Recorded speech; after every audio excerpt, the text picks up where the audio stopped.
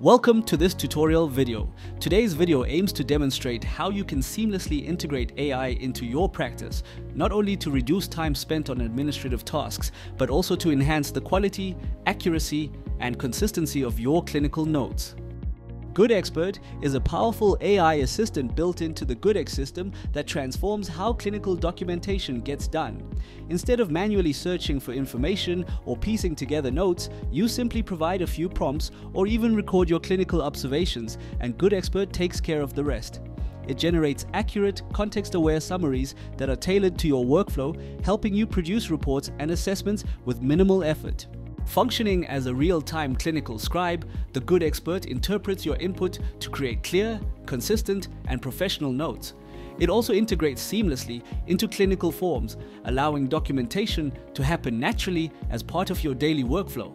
No extra steps, no duplication. This intelligent automation reduces after hours admin, improves the quality and clarity of records, and frees you up to focus more on patient care. With the GoodXpert, your documentation becomes faster, smarter, and significantly more efficient, making every minute you spend in consultations count. The integration of AI into your clinical notes first starts with the setup. It is advised that our specialized GoodX client support takes care of this for you, as well as advises you on any maintenance. However, I'll be taking you through a quick rundown of how it all works behind the scenes. Let's start on a previously customized examination form. If you would like to know more about how to build your own custom examination form, please refer to the related link in this video's description. Once the workflow event has been selected, your sidebar will display additional options, but the one we are focusing on today is the Setup AI button.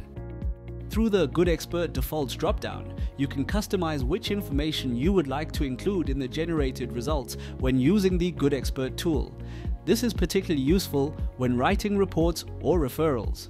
In the settings dropdown, you can choose how AI generation is triggered, manually with a confirmation prompt, automatically upon form selection, or delayed I scribe as to what is necessary in order to get your clinical notes completed. The more specific your prompt, the more accurately formatted your final product will be. Now that the main prompt has been added, each field should also be completed with its necessary instructions. Again, we highly recommend having this configured by our specialized client technicians to ensure optimal setup, but you're welcome to manage it yourself if preferred.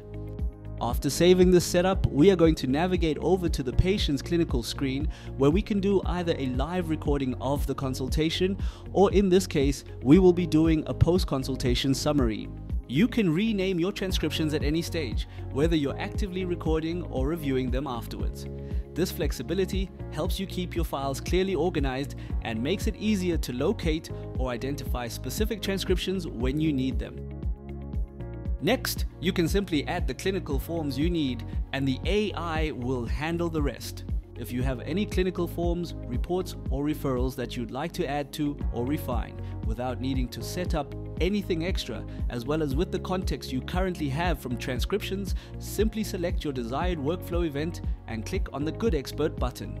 From here, you can enter your prompt and include any relevant context, such as demographic details, audio recordings, and selected workflow events to guide the output.